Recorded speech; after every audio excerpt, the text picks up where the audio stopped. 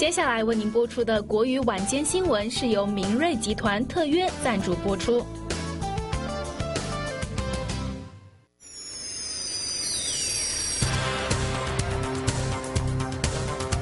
卑诗省九幺幺中心 ecom 公司总结了二零一四年最荒谬的求助电话，希望提醒民众不要滥用紧急电话资源。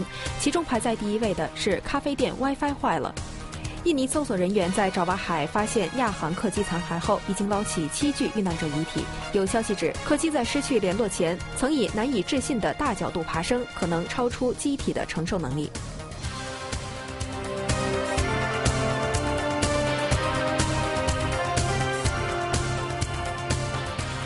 晚上好，各位观众朋友，今天是二零一四年的十二月三十一号，星期三，欢迎您准时收看今天的国语晚间新闻节目。首先来关注今天的本地新闻。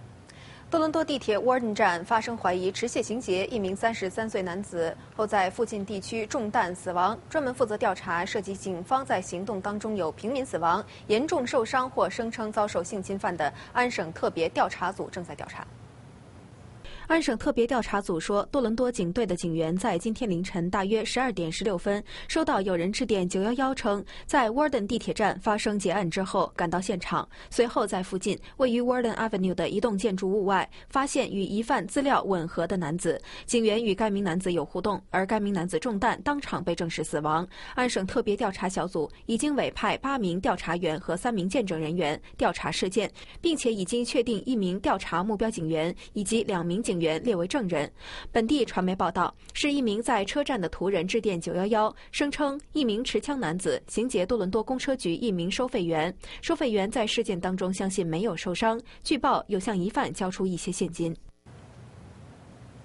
今天是新年夜，多伦多公车局在今天晚上到明天早上再次提供免费的地铁接车和巴士服务。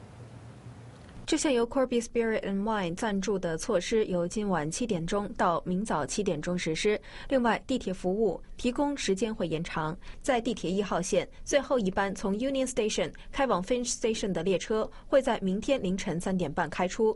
至于开往 Dunsville Station 的最后一班列车会在明天凌晨三点三十四分开出。在地铁二号线东行和西行最后一班列车会在明天凌晨三点三十七分开出。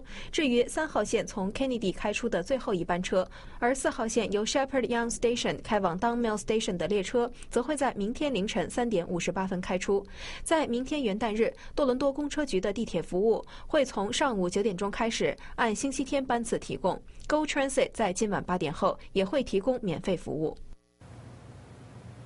在国方面，在阿省埃德蒙顿，总共有九人死亡的谋杀及自杀案震惊社区。当地有大批市民在五名成年人和两名幼儿在星期一晚上被发现死亡的寓所外放置蜡烛和毛绒玩具等物品悼念。当地警方昨天说，一名有犯罪记录的男子涉嫌在星期一晚开枪射杀一名女子，其后在一个寓所内发现七具尸体，死者包括两名男子、三名女子、一名十岁以下女童和一名十岁以下男童。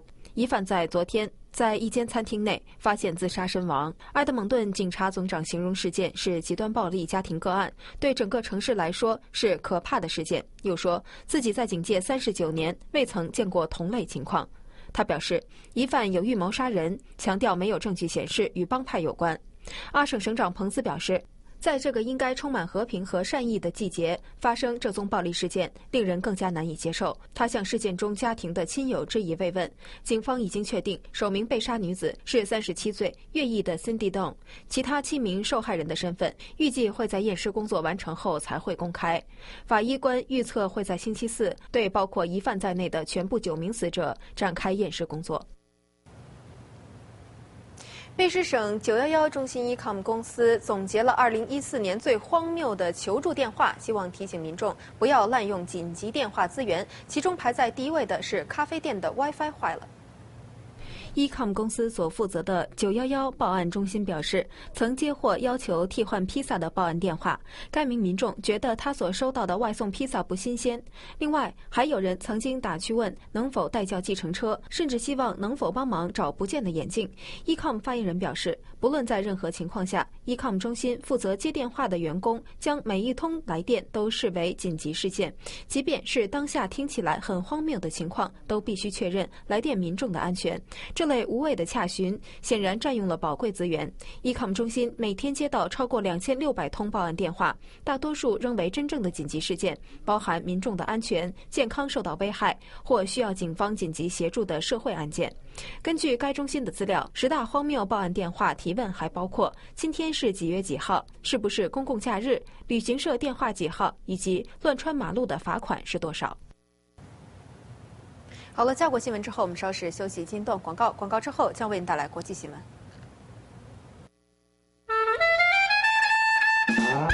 天宝旅游提供专业旅游服务，总部位于加拿大多伦多，在北美与中国共有十二个分社，地面接待能力强大完善，致力发展网上旅游消费，足不出户完成机票和旅游团预订，保证您自由出行，网络空间风采无限。天宝旅游让您的人生旅途更精彩。全新英文财经报道，洞悉中国到亚洲的经济动脉，发放更全面的财经信息。China's top banking regulator unveils its priorities for 2015. Support for small businesses and the new Silk Road economic belt top the agenda. And Middle East oil producers hold firm on output as Brent crude falls to 61 bucks a barrel. 财经亚洲逢星期一到星期五准时为您报播。把握大多地区都市脉搏，捕捉华人聚焦热点。一年一度的华人春节盛会——欢乐春节五洲同春春节晚会，将于明年三月四日晚七点半于多伦多索尼剧院开演。偶像剧歌姬叮当至今出道八年，《真爱好难得》演唱会巡回八个城市，场场爆满，更创下四度 Encore 欲罢不能的盛况。大多部天下午 Live at Five 与您相约。我的心跳的好急，好真实。我觉得我对他动心了，是因为内疚啊！你手上的这条手环应该是独一无二的。每次想到公主的时候，我都觉得很幸福。我很喜欢，很喜欢你现在的样子。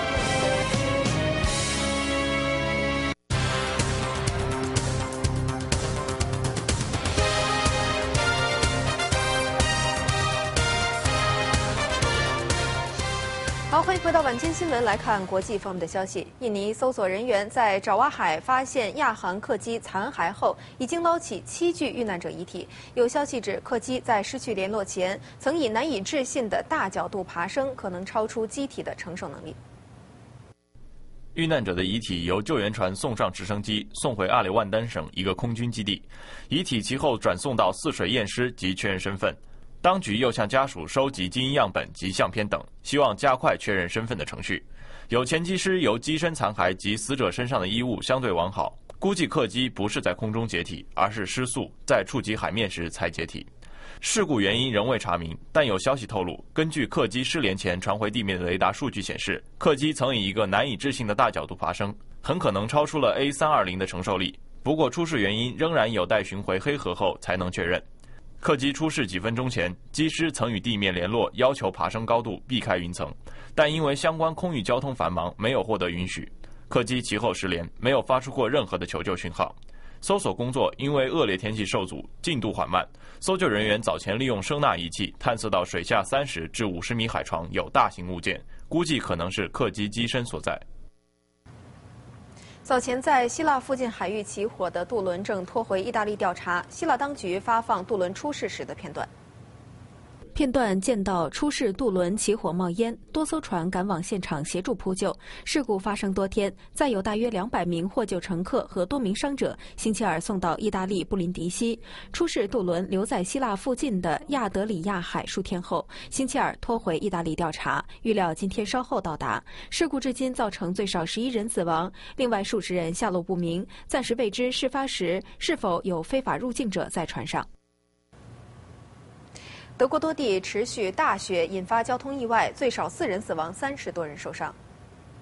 出事巴士当地星期二在距离法兰克福东北面大约一百公里区域翻侧，警方指持续大雪导致路面湿滑。出事巴士当时怀疑为避开迎面一辆失控的私家车，突然改变方向并滑出路面。消防人员到场搜救被困乘客，当中包括多名长者。而在德国第二大的慕尼黑机场，工作人员加紧清理跑道和飞机上的积雪，超过四十班航机因为恶劣天气要取消，另外有多班航机延误。上海外滩跨年庆祝活动发生人踩人事故，造成三十五死、四十二人受伤。上海市政府新闻办约凌晨四点钟在官方微博发布消息，指事发在昨晚大约十一时三十五分，黄浦区外滩陈毅广场，警方封锁现场，分隔人群，方便救援人员为伤者急救。事发时，外滩正举行东方卫视庆祝跨年演唱会，警方最初指有游客在现场摔倒，有关方面迅速展开救援，伤者被送往附近。多间医院，据报有人送院时已经昏迷。上海市新闻办说，事故造成三十五人死亡，四十二人受伤。上海市政府已经成立工作组善后，市委书记韩正等官员凌晨到上海市第一人民医院探望伤者。新年来临，位于南半球的新西兰是全球最新迎接二零一五年的国家。